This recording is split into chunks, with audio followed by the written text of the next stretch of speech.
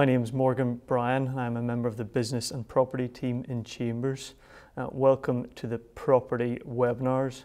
Today I'm joined by Matthew Crowe and Nicola Allan and this particular webinar is on the subject of TOLATA. Given it's the silver anniversary of the TOLATA legislation, it seems a, an appropriate time to produce a talk summarising the subject and spending a, a, little time examining the current position with regards to property disputes under TOLATA and considering some recent case law. Uh, I propose to touch on the law and the procedure in relation to these disputes, uh, very quickly examine occupational rent claims in line with TOLATA disputes as these can sometimes be overlooked. TOLATA is one of those areas in law uh, that overlaps with a number of areas, in particular property, family, and occasionally insolvency law. I hope that this webinar will be useful to practitioners in all of those fields. Uh, it's slightly unusual in this series in that it's one of the few webinars, as far as I can tell, that hasn't really been significantly impacted by any legislation arising out of the pandemic. Uh, that being said, uh, there is some impact in these types of disputes owing to the pandemic, particularly in the time taken for them to get to court and also in the time taken when judges are considering how long and whether to make an order for sale, uh, given the ongoing issues with regards to property and housing law generally. Uh, the reality is that this is an area where there hasn't been a significant amount of development in the law itself in the past 25 years. The real impact that there has been has been in the case law and uh, particularly with the decision of Stack and Dowden. Uh, the case law since then has been to various degrees uh, an interpretation of the Act and an interpretation of Lady Hale's judgment in that famous decision. And before we look and examine the case law in depth, uh, I think it's a useful starting point to consider the legislation again uh, and examine the most uh, important sections of that. Uh, what does the Act itself uh, actually say and what powers do it provide? Uh, under Section 1, under the Trust of Land and Appointment of Trustees Act 1996, it helpfully defines what a trust of land is. That is, namely, any trust of property which consists or includes land. Um, fairly obvious given the title of the legislation, but nonetheless a helpful definition. The sections that practitioners will most often consider are those contained within sections 12 through to 15. Section 12 provides a right um, for those with a beneficial interest in property to occupy said property. Section 13 of the Act provides a right of any trustee to exclude uh, or restrict a beneficiary's entitlement to occupy the said property. So those two sections to a degree go hand to hand. And section 13 also allows for the imposition of conditions on any occupation. The powers of the court uh, are set out in section 14 uh, and those are worth scrutinising in depth because not only do they set out the powers of the court they also set out what the limitations of those powers are and in particular the court has the power to grant declaratory relief and that it allows the court to find what the party shares and declares what those are accordingly. It allows the it allows the court to grant an order for sale and it allows the court to make an order for an account of the profits in any trust property. What is not included in the powers of the court in section 14 is that the court cannot order a sale, a transfer or a purchase of said shares that it finds. It effectively does not allow the court or permit the court to order one party to transfer or create shares to another. And in examining and addressing the powers of the court, the court is required to consider the factors that are set out in section 15. And those are the factors that are relevant to almost any TOLATA dispute. And in particular, they contain uh, the intention of the people who created the trust, the purpose for which the property is held, the welfare of any minor, and that factor is of particular importance when a court is considering whether to make an order for sale, and finally the interest of any creditors. And that factor will uh, no doubt be very familiar to those who practice in insolvency. That uh, is a fairly quick run through of the statute. It effectively gives the court the power to declare what each party's respective interest in a property is and thereafter potentially make uh, an order for that property to be sold depending on the various uh, interests, intentions of the parties and the purpose for which the property is sold. And in terms of examining how uh, the courts address those powers, it is worth uh, looking at the case law. Starting, of course, with uh, Stack and Dowden, which will be familiar to anyone who has any knowledge of TOLATA at, all. It was and arguably still is the most important case uh, in this area, uh, and it contains that famous judgment of, of Lady Hale. I don't intend to repeat the facts here, uh, save as to set out um, the important principle uh, contained within the decision of Lady Hale, and uh, to remind everyone that this uh, decision in particular, Stack and Dowden, and the following case, which I'll address, Jones and Kernott, um, concerned a joint name case in a domestic context. What was fundamental in uh, the decision in Stack uh, was the principle that, uh, as was held, equity follows the law. The presumption, therefore, was that a beneficial interest matches the legal interest. Effectively, therefore, that when parties purchase a property in joint names, the court held that that indicates a joint legal and beneficial interest unless the contrary is proved. Therefore, the question in a joint named case is where one of the parties naturally is arguing to the contrary. The question is whether the parties intended that their beneficial interest to be different from their legal interest, and if so, to what extent. Uh, the decision in Stack confirmed what the task of the court was, which was uh, to ascertain what the parties' shared intentions were, either their actual, inferred, or imputed intention in light of the whole course of their dealings. It was not just restricted to an examination of the financial um, contributions to the party or to the property by the parties. Uh, and the crucial factors in examining the course of dealings and uh, ascertaining what those shared intentions were were helpfully surmised by Lady Hale in paragraph 69 of that judgment, which provides a non-exhaustive list of factors for the court to consider.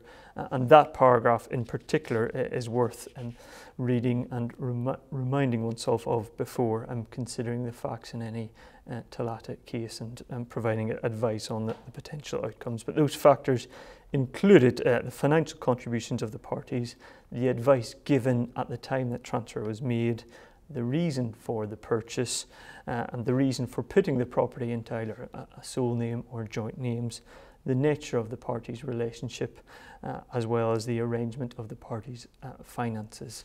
And that in itself is not an exhaustive list of the factors that were set out in that paragraph. And as has already been said, um, the factors there were not an exhaustive list, and the court is entitled to consider all the circumstances of the case.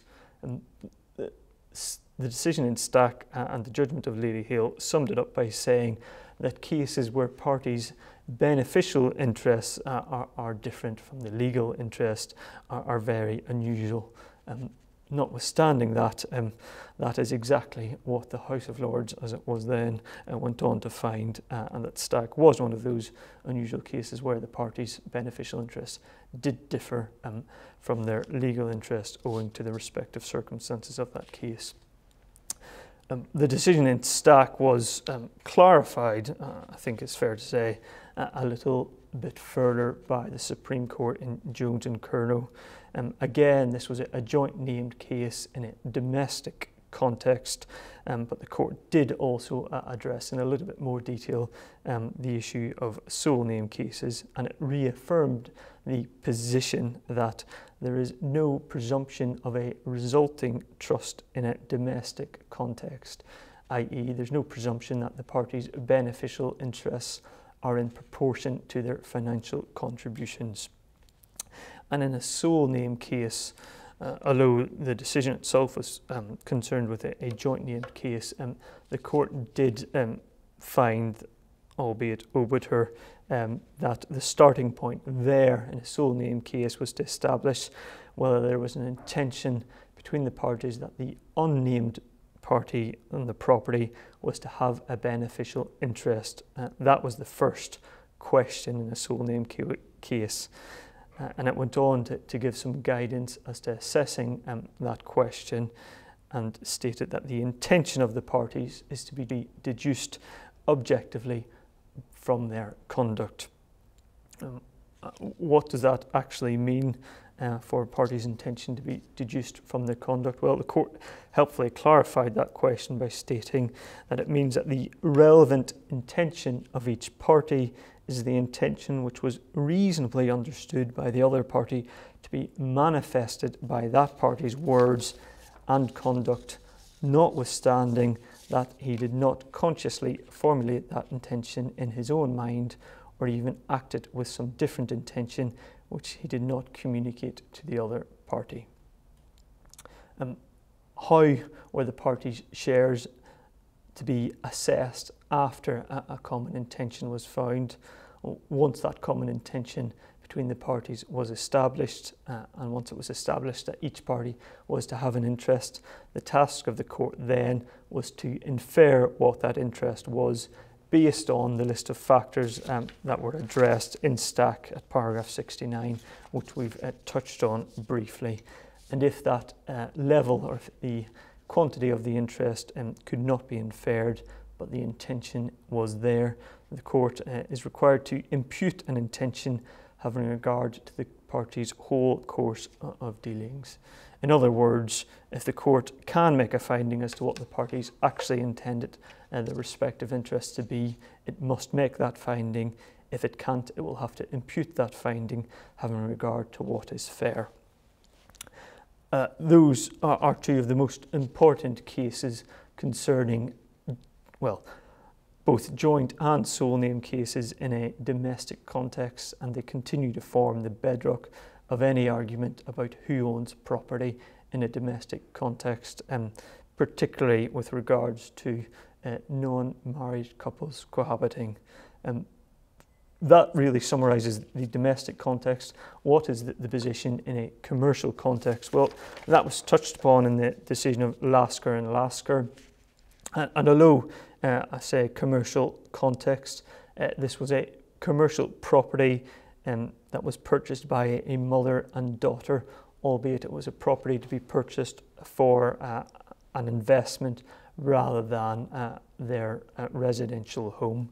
Uh, the property in Laskar um, was purchased using a, a, joint mortgage and effectively um, equal, albeit modest savings. Um, well, broadly speaking, equal um, and modest savings from each, but also, and importantly, um, it was purchased using a right to buy discount um, that had been secured by the mother.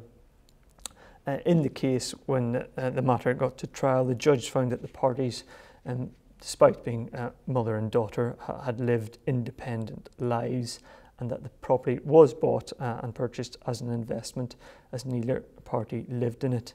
Um, but the important finding in, in, relation to the law was that the presumption of um, joint ownership, um, the presumption that was stated in, in Stack and confirmed in Jones that equity follows the law, was held not to apply in a commercial context.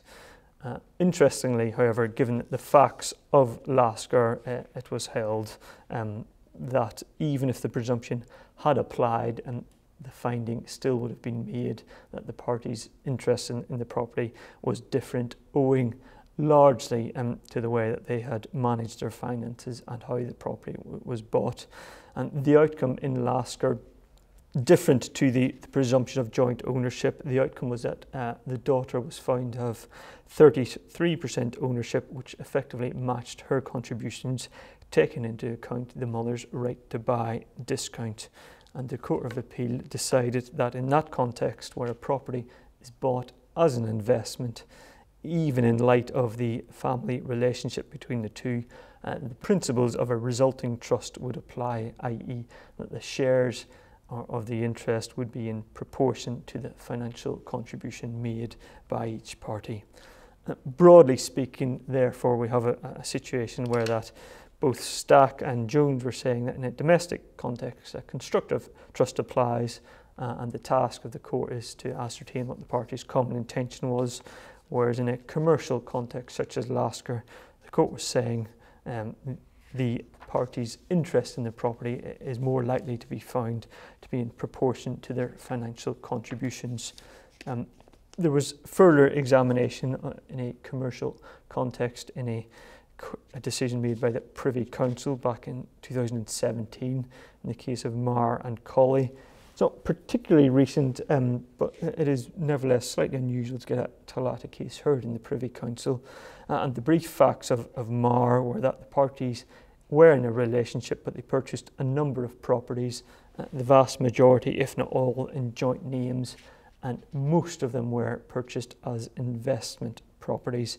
Uh, and the appellant's position by the appellant at the Privy Council was effectively that as he had financed those purchased purchases, um, he should be awarded a interest um, in proportion with his financial contribution based on the, the principle in Laskar. Uh, what the, the Privy Council held is that the, in, in terms of the law, they ultimately confirmed that the, the ratio and decision of Stack was not purely confined to domestic situations and that in a commercial context, the parties' intentions still remained crucial. Um, and it does not always follow in a commercial case that a resulting trust, which was the outcome in Laskar, uh, will be the case. And, and therefore, uh, the ultimate position was that even in a commercial context, the party's intention, particularly at the time of purchase, remains key. It nevertheless remains the case that it's more likely than not, um, I would gauge that a, a resulting trust will be the most appropriate solution, as that was the comment of the Privy Council in a commercial dispute, but it does not necessarily follow, nor uh, is there a presumption to that extent. And the ultimate decision was that the um, appeal was allowed uh, to the extent that the case had to be remitted on the basis that um, the judge at trial had, had failed to conduct a, a, proper examination of the party's actual intention um, when um, the purchases of those properties had taken place. Um, th those four cases, um, to a large extent, broadly summarise the position um, with regards to domestic and commercial um, disputes in the TOLATA context. Uh, I briefly touch upon two recent decisions to show how those judgments have been applied and then quickly examine um, the procedure uh, in these disputes. Um, a recent case of uh, Amin and Amin from 2020 heard in the High Court. Um, the facts of this case, it was an appeal from a decision of a circuit judge and that decision was that the appellant um, in the High Court had no beneficial interest in a property that was purchased in her sole name. Um, the, the decision to appeal uh, was therefore, on the face of it, not particularly surprising, bearing in mind um, the decisions that we've looked at in Stack and Dowden and Jones and Kernott as to the presumption that equity follows the law. Um, but in Amin, the parties regarded themselves as, as husband and wife, although not legally or, or technically married. It was a rather complex uh, history given the number of transactions that took place, but the case itself concerned one property in particular that had been originally purchased back in 1995 by uh, the respondent. Um, it was then sold to the appellant's cousin, um, and the, judge found at trial that, that the sale of the property was really a device used to raise some equity for the parties. Um, but after the sale, it was bought back by the appellant and transferred into her sole name. Uh, the respondent uh, at the appeal was um, the deceased partner and um, two sons of the appellant. And the judge, um, as I said, initially found that the property was held on trust by the appellant um, for all three defendants, and that finding was made largely on the, the basis and on the finding of fact that the uh, appellant had made no financial contribution um, to the purchase price. Uh, it was a notable case, um, well, that aspect of the case was notable in itself, um, that the appeal court refused to overturn the finding of fact to that effect, despite there being some evidence on, the face of the documents that there was a, a slight financial contribution, and it shows the risks um, and the hurdles to overcome in uh, attempting to appeal a finding of fact. But in terms of the law, which we are focused on, um, the judge stated um, in, in appeal that in each case, whether it be a sole name or a joint name, um, what needs to be found in order to displace the presumption that equity follows the law is a common intention that the beneficial ownership should be something different from the legal ownership, effectively restating what Lady Hale held back in Stack. Uh, and that um, question is to be deduced, deduced uh, again objectively from the party's conduct. Uh, no real change there, uh, and the judge in Amin referred to the list of factors again set out in paragraph 69 of Stack and found um, or held that what may be relevant to the first question of the court in assessing what the common intention of the parties were uh, would also be relevant um, to the question of uh, the level of interest to each party uh, and, and vice versa. And essentially found that the evidence relevant to the amount of a beneficial interest is also therefore likely to be relevant to whether there was in fact a common intention or not as to whether there should be a beneficial interest different or, or the same as the legal ownership. And although um, the decision was one of those unusual cases where the beneficial interest was, in this case, entirely different from the legal interest, in that the legal owner was found um, not to have any beneficial interest. Uh, the appeal judge stated uh, it was a surprising decision in itself um, but that was partly due to how each case was run on a effectively all or nothing basis. That each party's contention was that 100% of the property belo belonged to them, and there, there was no case uh, run in the alternative. Um, it's, as I say, a slightly more unusual case than even um, perhaps Lady Hale would have predicted. It, it doesn't really say anything new on the law. It is, um, it's after all a High Court case, but the judgment does provide a useful summary of the law and uh, the judgment in itself arguably encapsulates the principles of any TOLATA and dispute surrounding um, beneficial ownership. At paragraph 34 where the judge stated that the broad question is always what did the parties intend? And if you take nothing else uh, away from this webinar, uh, that is what is useful to have in mind uh, at any point you're advising a client when it comes to uh, a dispute uh, based on uh, the TOLATA Act. and regardless of the context, domestic, commercial, joint name or, or sole name, and that is effectively what the court is tasked with examining. Um, the, there is nonetheless, or there may be a difference of presumption of joint ownerships in a domestic case um, for a property purchased in joint names uh, where that may not be the case in a commercial investment context um, due to the decisions in Laskar and, and Marr and Collie, which still stand um, to a degree uh, as good law. Uh, finally, um, the last case, which I touch upon, uh, one that was handed down in March of this year, Rowland and Blades and um, there's a fantastic article about this case on the Daily Mail, which you may find somewhat more interesting um, than either the judgment or this webinar, but that is to do neither of those a, a disservice. Um, the facts of the case uh, concerned a holiday home, which at the time of trial was valued at around two and a half million pounds. Um, the property was purchased um, and placed in joint names, but was paid for entirely by the claimant and paid for in cash. And to some extent, it is almost the, the polar opposite of a typical sole name case, uh, where in a sole name case, um, uh, in a TOLATA dispute anyway, parties contribute financially and to some extent, but then it's placed in one of their names. In this case, only one party made the financial contributions, but it was placed in both of their names. And the claimant's position was effectively saying, I've made all the, the financial contributions, therefore uh, I own all the equity. Um, and it was the defendant, um, despite that contribution, who spent most of the time in the property, uh, so much so that there was a claim for occupational rent by um, brought by the claimant, uh, as well as his um, claim as to a declaration as to his respective interest. Um, and as I say, the argument made by the claimant in a nutshell was I contribute it entirely, therefore I own it entirely. Um, and his position was it was uh, to be owned by him and then passed his daughter, um, albeit with the defendant having the right to live in it.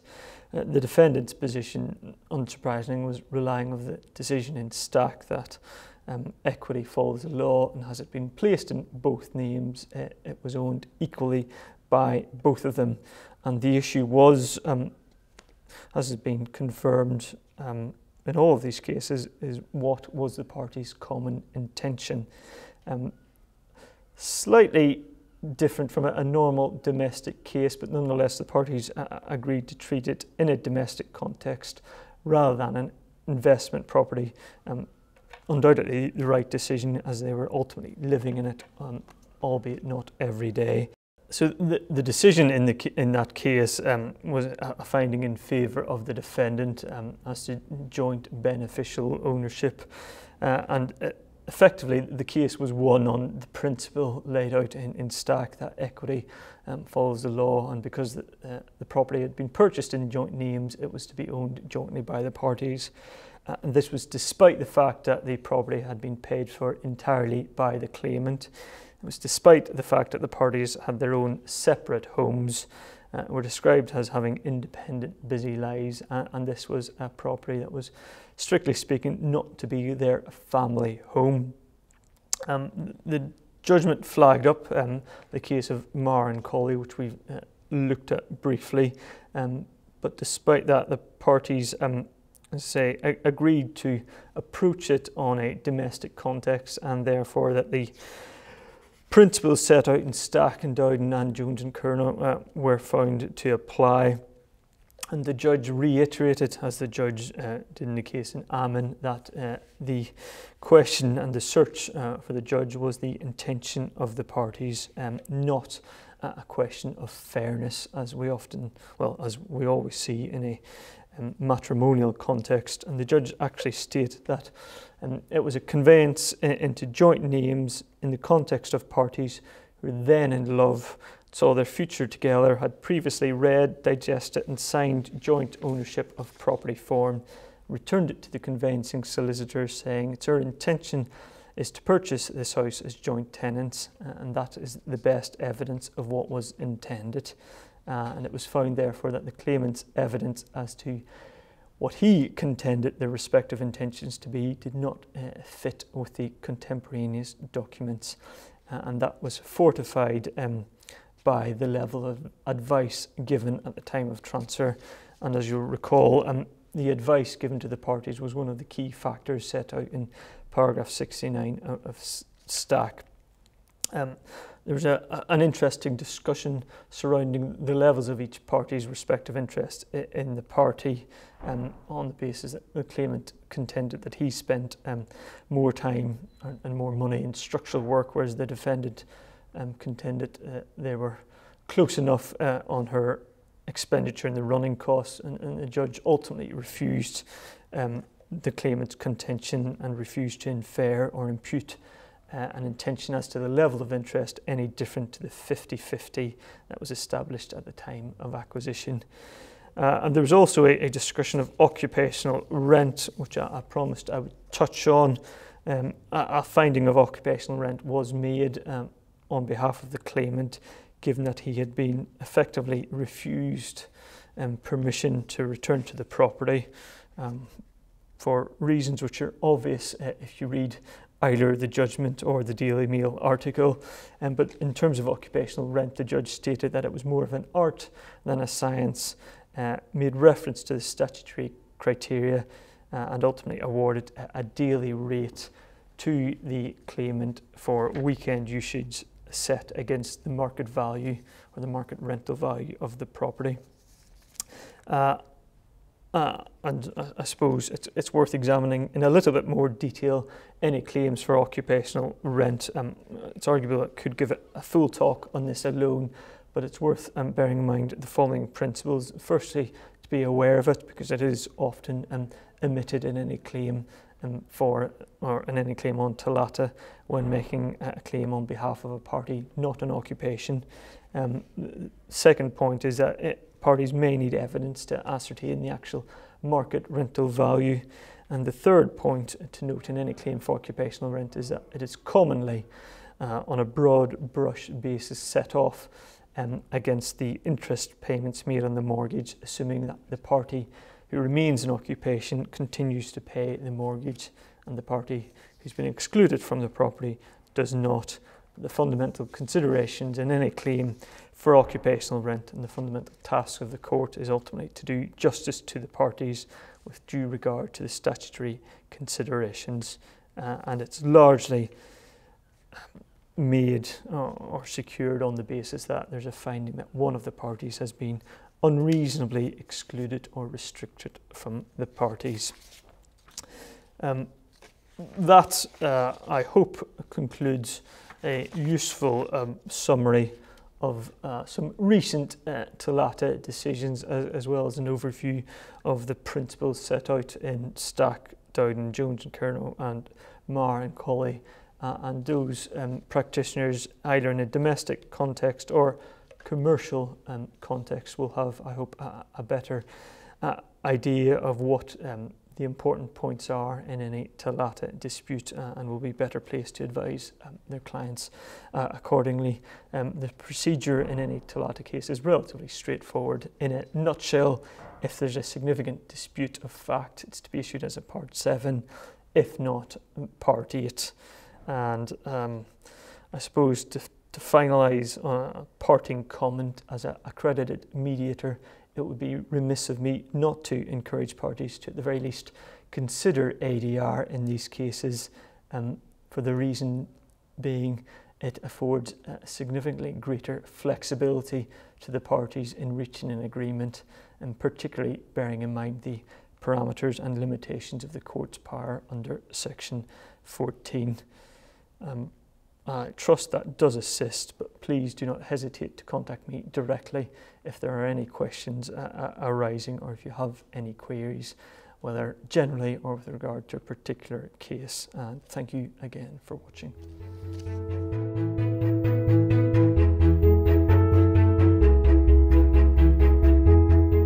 Hello, my name is Matthew Crowe, and my talk concerns the maxim of caveat emptor and its true influence in modern property law.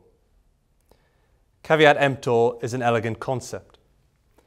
It's an easy focus for judicial thought and an oft cited phrase by defendants in property litigation. But it's being slowly eroded, and in the year, as the years have gone by, it's begun to mutate. Only recently, at the very end of 2020, in the midst of a property market boom, the Law Society has issued careful guidance, which said that recent changes to the law have reduced the application of caveat emptor, and they may even impinge upon the traditional notion of the solicitor client confidentiality relationship. The Law Society's view has been corroborated in recent publications by the Council for Licensed Conveyancers, who have suggested we may be moving away from traditional notions of buyer beware and towards a more modern concept of seller beware. Indeed, in the last few months, the Law Commission is now hot on the trail of this issue and is asking the very pertinent question Is caveat emptor still the appropriate starting point for property purchases? With that in mind, my webinar addresses the question, what are the duties of disclosure in modern property transactions? The general principle and the starting point remains caveat emptor, but it's only a starting point, and the principle itself is subject to several caveats, chief among which are three scenarios. First, where there exist certain defects in the title to the property. Second, where there has been some form of deceit. And third, importantly, where consumer protection laws now apply. The third and final scenario there is something worth exploring in detail, but I will briefly touch upon now the first two circumstances. First, defects in title. On the one hand, a vendor is expected to disclose encumbrances and other defects in the title of the property, which a purchaser could not discover for themselves by inspecting a property with reasonable care. Now, there is a blurred line between what is considered reasonably discoverable and therefore patent and what is not and therefore classed as latent. This has been the subject of frequent and considerable litigation in recent years and remains a fact sensitive issue. I've included a number of examples in the handout that accompanies this webinar, but generally speaking, latent defects of title may include rights of way, drainage, restrictive covenants, matters of that nature. Patent defects, however, those that may be more obvious, will be covered by the traditional notion of caveat emptor, unless there is some form of misrepresentation through either misleading descriptions or deceit. On the other hand, at common law, a vendor holds no duty to disclose to a purchaser any defects affecting the quality of the land sold. That could mean the construction of the property, the design. These things are generally caught by caveat emptor. As a notable example, which I'll return to later, in the 2004 case of Sykes and Taylor Rose, one vendor didn't reveal that the home had been the scene of a gruesome murder. But this, at the time, and according to the court, wasn't required to be disclosed and was covered by the principle of caveat emptor. That's the first broad exception to caveat emptor, defects in title. The second is fraud.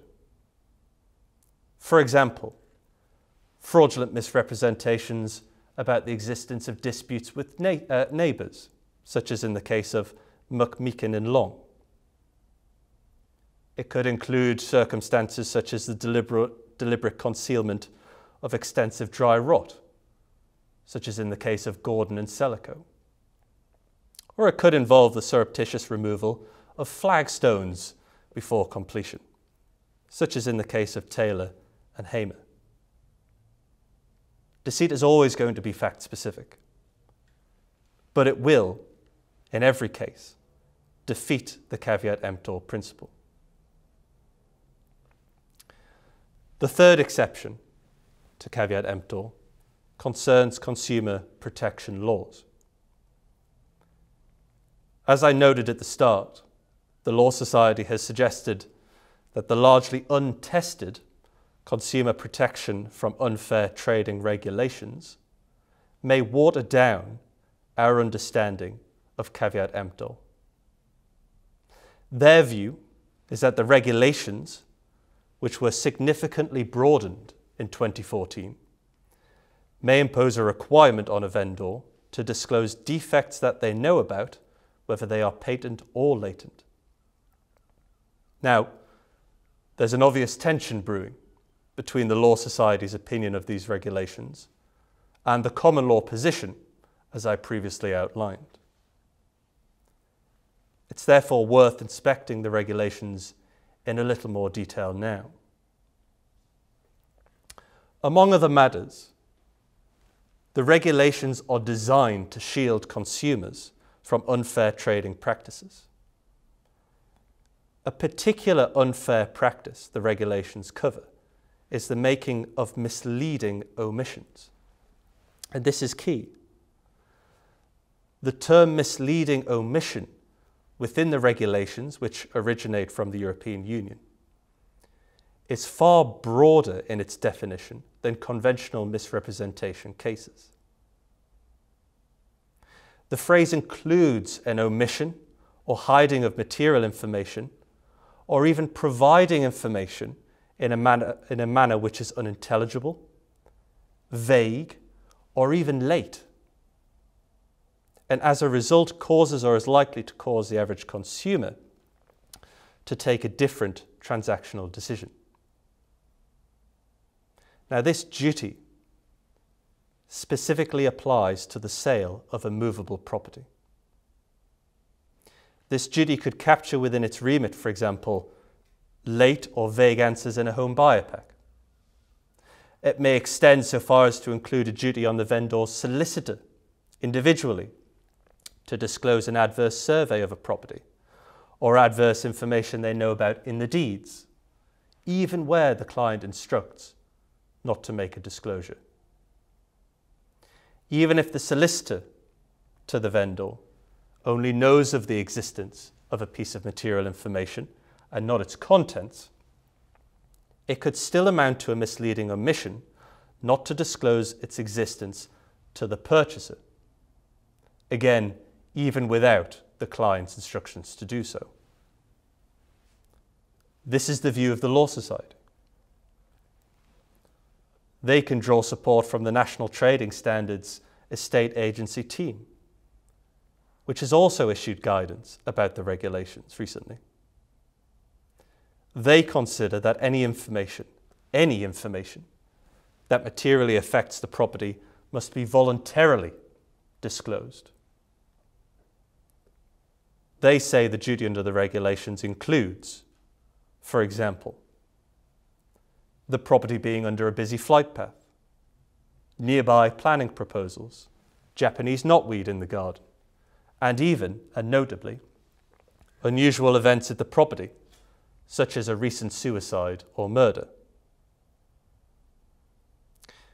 That last example is notably inconsistent with the case of Sykes and Taylor Rose, which I mentioned earlier. That case of Sykes and Taylor Rose was decided before these regulations came into force and decided under the traditional common law principles.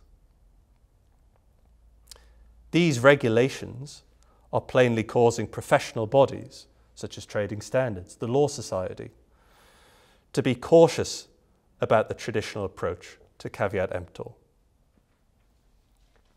The concerns are well founded, but the question must be asked are these regulations all bark and no bite? Possibly. Generally, a consumer who falls victim to unfair practices, such as these misleading omissions, may have a right of redress, damages, discounts, even unwinding the transaction.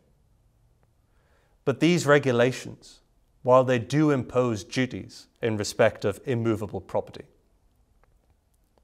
they also specifically exclude the right to redress.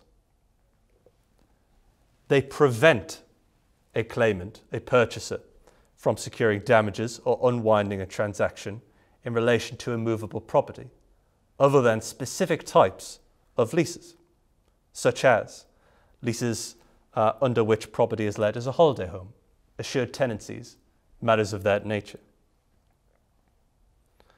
Accordingly, the only method by which a claimant might obtain compensation while using these regulations is expressly disapplied in relation to the purchase of property.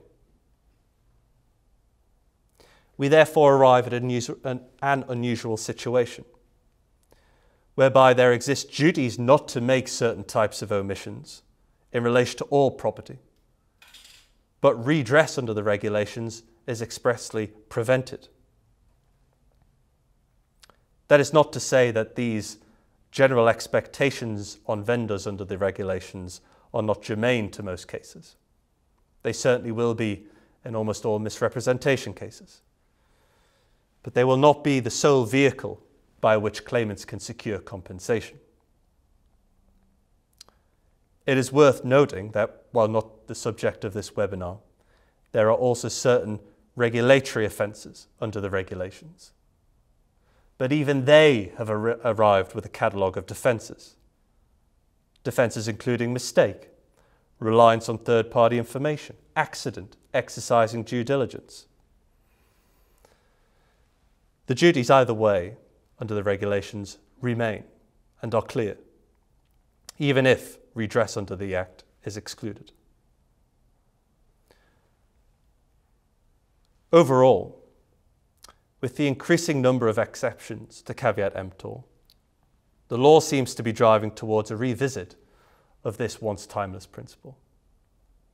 The drive seems to have been accelerated not just by EU legislation, but also the rise of technology during lockdown.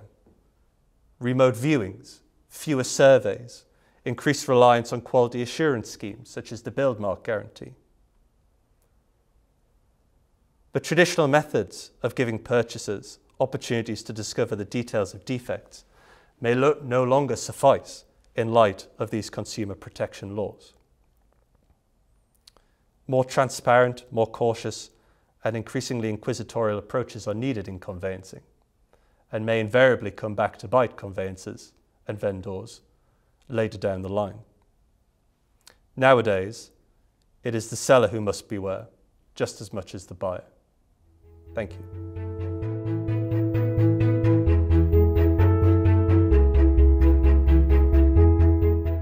Hello, my name's Nicola Allan. I'm a barrister, a property barrister. I'm also a chartered town planner um, and I still do actually practice sometimes, not very often, as an expert witness alongside my advocacy and paper practice. Um, the subject today is the new legislation um, on re deregularisation of the planning system and particularly as it relates to the high street. Just by way of background, um, the Conservative election commitment was to boost the housing supply and simplify the planning system, amongst others. Um, one simplification of the planning system was to remove red tape for businesses and, of course, to stimulate growth. Um, just some statistics to sit on top of that um, political background. In the past three years, um, so that was January 2018 to 21, so pre, but actually running into the COVID um, period, 27 million square feet of retail, um, financial and business floor space was exited. Um, of course, at the moment, um, in the recent past, leases have tended to be shorter with more break clauses, And another statistic is that at Christmas 2020, so this is absolutely in the middle of COVID, 14% um, of retail units were empty. Another commitment that the um, Conservatives made was in September 2019, where they committed money to the New Towns Fund just before the election, which is no surprise. And this is part of the much wider levelling up agenda, and it's predominantly funding across the Northern Powerhouse and the Midland, Midlands engine areas. So in July 2021, quite recently, the government announced a new strategy which is called Build Back Better. So of course it's a snappy three-word strategy. The legislation I'm going to talk about today uh, is the Use Classes Order, the General Permitted Development Order 2015, the Town and Country Planning Use Classes Amendment England Regulations 2020, and the changes, the amendments to the Town and Country Planning General Permitted Development Order, which became effective on the 1st of September this year. So the basic issues um, that run through all of those new pieces of legislation are the introduction of a very wide ranging new use class. Um, also sitting alongside that, um, there's a broad range of permitted development rights. And basically now particularly in relation to high streets. Um, there are many changes of use which do not require formal planning permission. So I suppose you're asking, why does that all matter?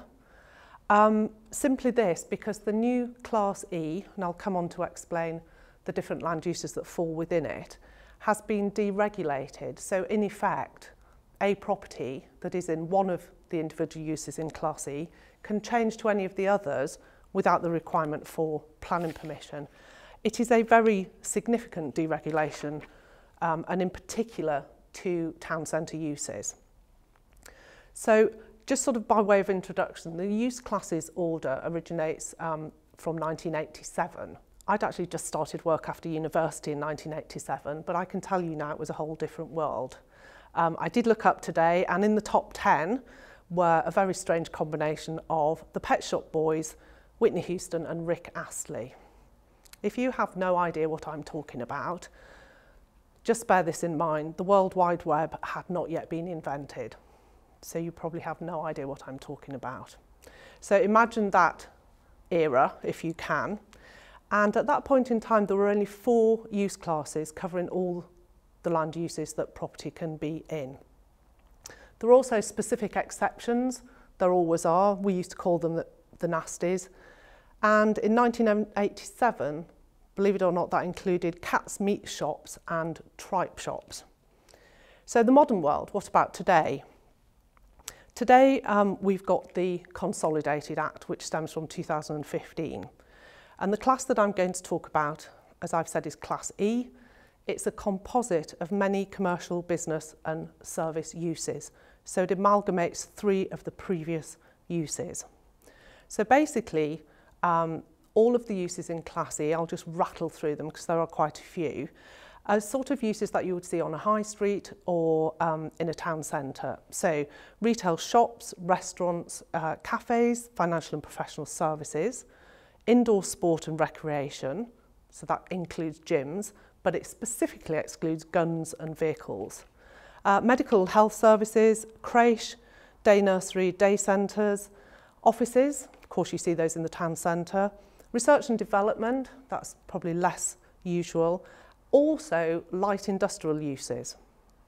But those are only industrial uses which um, can take place in a residential area and therefore they mustn't cause sort of noise or dust or pollution.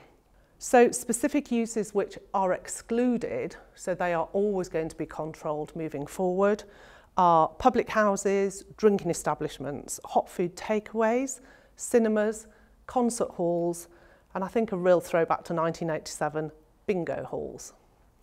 Um, there are now the modern nasties, which will always need planning permission. And it's a very strange list now, it's very modern. It includes nail bars, um, payday lane shops, massage parlours, believe it or not. Um, so those are the uses that can and cannot take place in town centres. There are some other permitted development rights, um, which the Conservative government, as one would perhaps expect of a free market government, have brought in. Um, as I've said, all the Class E uses are now completely interchangeable without the need for planning permission. So in theory, uh, you can buy a bank and you can turn it into a cafe. Uh, you could lease an office and turn it into a shop immediately. There are other permitted development rights which the Conservatives have also brought in. Class E, so all of those business and commercial uses that I rattled off earlier on, um, you can change any of those now to residential or to mixed use and residential or to a school without the need for plan permission. However, there are certain prior notification procedures that you would have to go through. Um, also permitted development, um, the nasty uses, so the nail bars, the pubs, um, payday loan shops, those, any of those buildings can automatically change to a use that is permissible under Class E without the need for planning permission. So that's sort of the background to the legislation. And together, you're probably asking, well, that, how is this going to affect how you may give legal advice to your clients? I think the first point is that early in the process, um, you must establish the planning status and potential of any property. And you may have to take uh, appropriate legal advice on that. But in terms of legal advice, what you then have to consider is one of your clients may be over the moon and think they've got the perfect property and the perfect use for it. But what you need to check, and these are the sort of pitfalls, are limitations which may cut across permitted development. So you may have uh, restrictive conditions on a planning permission, you may have a Section 106 legal agreement that restricts use of land, um, you may have a lease which has restrictive covenants in it, And also this, um, these new changes bear upon how dilapidations will be dealt with and they will impact on repurposing of buildings and also valuations. So if we just sort of look at this maybe on a more practical level, a client comes along to you, um, they're starting a business hopefully, they may be relocating a business. It could be anywhere, it could be Newcastle, Hexham, Morpeth. So the relevant checks would be undertaken, so the title will be checked, um, the local land charges searches will be done, and the planning history should come up on the um, local land charges search. So in terms of planning, it's really important to know what the lawful use of the property is already. So it may be an established use, for example, that's the first category. So that would be, it's a shop, it's always been a shop, um, and that's its lawful use. Uh, the second way is um, planning permission could have been granted. So this would probably more relate to new property, new shops, or perhaps the more modern retail parks that we see. There may have been a change of use in the past, and that may have been under a planning permission or it may have been a permitted development change. Another thing to watch out for is a property could may well be in a use um, and it has been in a use for 10 years and that will then become the lawful use. It will be immune from enforcement action but that may need regularising. Um, there's a mechanism to do that.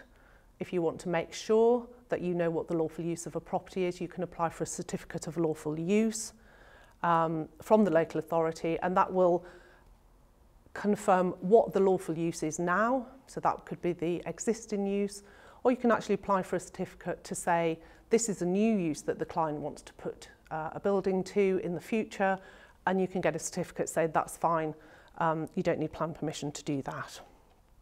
Okay. So if you've established what um, the lawful use of a building is, the second thing that you have to consider is, is the use restricted or limited in any way? So you need to check for planning conditions, which may limit a sub-use class. Um, if there is a restriction on a planning permission, that will override all of the permitted development rights because any use would be in breach of it.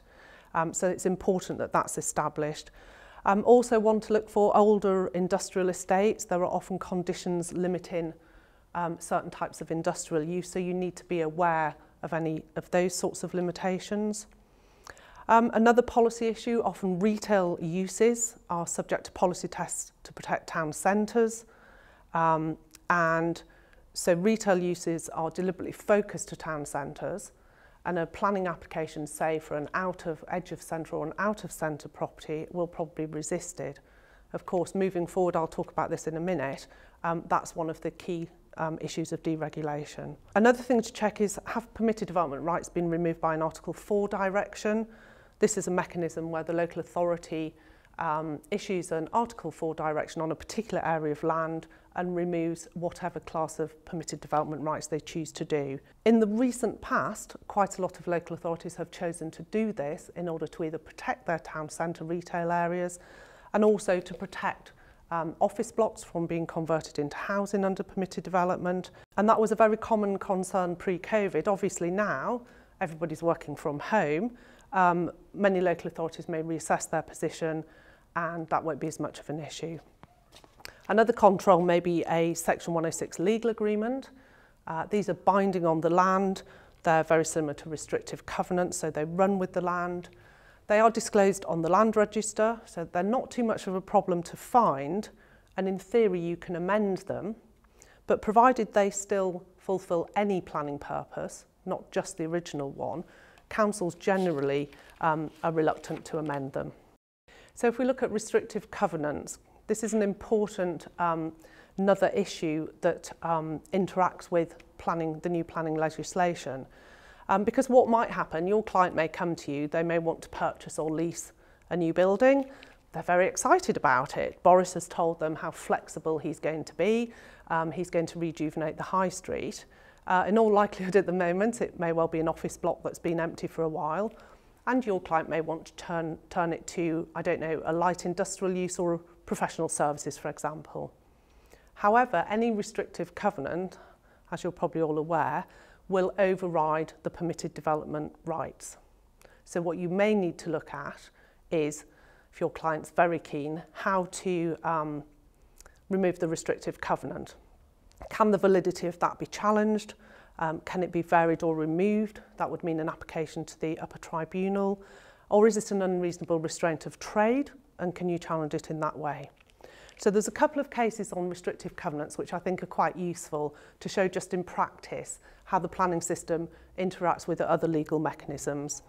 The first case is um, Shaviram Normandy Limited and Basingstoke and Deane Borough Council, and that's a 2019 case. Um, the building was owned by the council. It was held on a long head lease, and um, Normandy were took the building and obviously they were responsible for rent and there was also 15.5% um, apportionment of the annual rent under the sublease. But whilst the building could be converted from offices into houses with no plan permission whatsoever, there was a covenant on the lease saying that it should only be used for offices. So interestingly, in this case, the council owned the site. So the council confirmed it was permitted development, absolutely no problem with the plan permission whatsoever. But as landlord, the council refused to lift the covenant. Um, Shaviram were very savvy, and what they did is they made an application under Section 84 of the Law of Property Act to the lands, um, to the upper tribunal. And um, after hearing a lot of evidence, the tribunal considered the values office and residential, um, they were quite similar. So on that basis, there was no practical benefit to the covenant. Um, they also considered the thin end of the wedge argument. Basically, the local authority as planning authority argued that they had a duty to protect the economic well-being of the town and therefore they wanted this building to remain in office use. They also didn't want it to become housing because they argued that would undermine their housing allocations on other sites elsewhere. However, the tribunal didn't accept those points, uh, perhaps unsurprisingly. Um, basically, the tribunal held that there was already an oversupply of offices uh, in that particular area, so the retention of this particular building as an office didn't confer a benefit. And also, they characterised it as a commercial uh, dispute and they didn't attach any weight to the local authority as local planning authority. Um, there's a second case which is quite interesting. This is Berkeley Square Investments Limited and Berkeley Square Holdings. Um, it's not a permitted development case, but it's a restrictive covenant in a lease case, so it's quite illuminating. Basically, there was a very attractive Grade 1 listed building, as you would imagine, in Berkeley Square. Um, planning permission was granted by the council, to change the building from offices to a private members club. The freeholder owned properties either side and the adjacent property was already a private members club. So you can sort of see where this one's going. Anyway, there was a single user covenant contained on the long lease saying that the building can only be used for offices. The applicant argued that there was no demand for offices in the area However, the tribunal found there was a limited demand for office space in the area. And the fact that the freeholder, um, sorry, the leaseholder had made no attempt to let the sublease or market the property, the tribunal said it would be wholly wrong to find that the covenant was obsolete. What the freeholder argued, obviously they were trying to protect their other properties, is that they didn't want three members, private members clubs together because it would create competition. What the tribunal found, interestingly, is that none of the objections had sufficient merit to demonstrate that the practical benefit to the freeholder there was one of substantial advantage. And they also found that impeding the proposed um, private members' use was not in the public interest. And one of the factors they took into account, and this is really the key to the case from my point of view, is that planning permission was in place, all the relevant licenses were in place, and therefore the private members club was demonstrated to be a reasonable user. And this is how I think that the new um, deregularised Class E and also the permitted development rights are going to engage with Section 84 of the Property Act. Because basically, if a building has planning permission or does not need planning permission for a particular use, then that is always deemed to be, in effect, a reasonable user of that building. So you could have very, very different uses. So for example, you could have a massage parlour change into a creche, but under section, 70, um, section 84, um, that would be seen as a reasonable user of the building. Just thirdly, um, the new legislation impacts on dilapidations. Um, previously, we've, we've had a podcast uh, where Paul Rayburn, a surveyor, gave a very interesting talk, and it's certainly worth looking at that if you um, deal with dilapidations and leases. We're all very aware of a substantially changing retail and business world. Um, this particularly relates to bricks and mortar property. Uh, and you recall, as I said at the beginning, 27 million square feet has exited from commercial uses in the past three years. And there's another um, statistic, 66% of leases signed in 2015 will break or expire by 2025. So that very much points to an oversupply of certain types of building and a need for reconfiguring. Of course, the majority of properties, when they come to the end of a lease, do need um, some modernising. But in this day and age, because the market is very dynamic, they often lead an awful lot more than that, and they can be completely repurposed. Um, there's an example just along here in Newcastle, a modern office block. I remember it being built, and I'm not that old. It was built for BT as their main headquarters building. Um, BT didn't need it anymore, probably about three or four years ago. And that very large building has been completely repurposed for two new hotels. So even within a very short period of time, less than 20 years, that's happened. So how does this flexibility impact on values and settlements in terms of dilapidations? Of course, the tenant can argue that the property that they're leaving is likely to be significantly upgraded and so any works will be superseded and won't be taken into account as dilapidations. So I think when surveyors are looking at dilapidations, when lawyers are looking at them, um, there has to be an understanding of the present and future market for that particular building. And that is how the planning system and the new Class E and the very wide-ranging permitted development rights will um, heavily, the planning system will heavily inform other areas of law. So just as a really by way of closing, these are very personal thoughts. What will this flexibility bring about in reality? Well, it will certainly open up the market. There's no doubt about that. A lot of new uses will um, be free to move about. There'll be new leases, which I think will have to be more flexible to take account of the um, permitted development and Class E. Um, Section 84 um, and restrictive covenants, I think will be used more by savvy developers saying, look, the planning system says this is fine. Why is my lease holding me back?